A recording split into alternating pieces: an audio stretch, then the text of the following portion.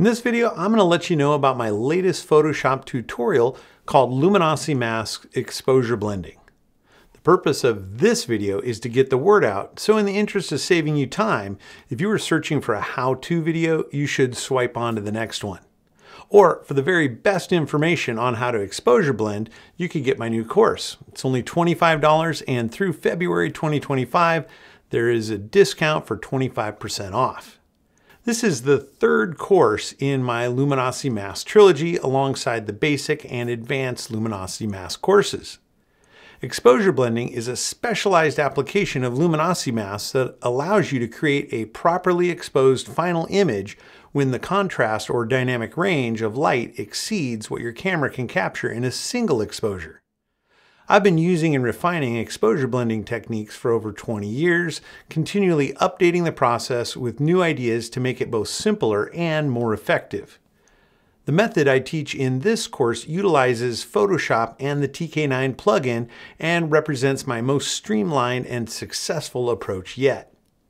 While modern cameras, the latest RAW file formats, and advanced editing software have made it possible to handle many high contrast scenes using a single exposure, there are still extreme lighting situations where bracketing and blending exposures is essential regardless of your camera, and those scenarios are often some of the most dramatic and photogenic.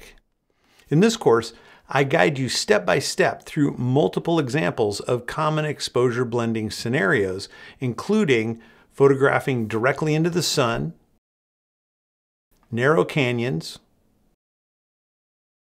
trees against the sky, deep forests, and even caves. I also cover night cityscapes and architectural interiors.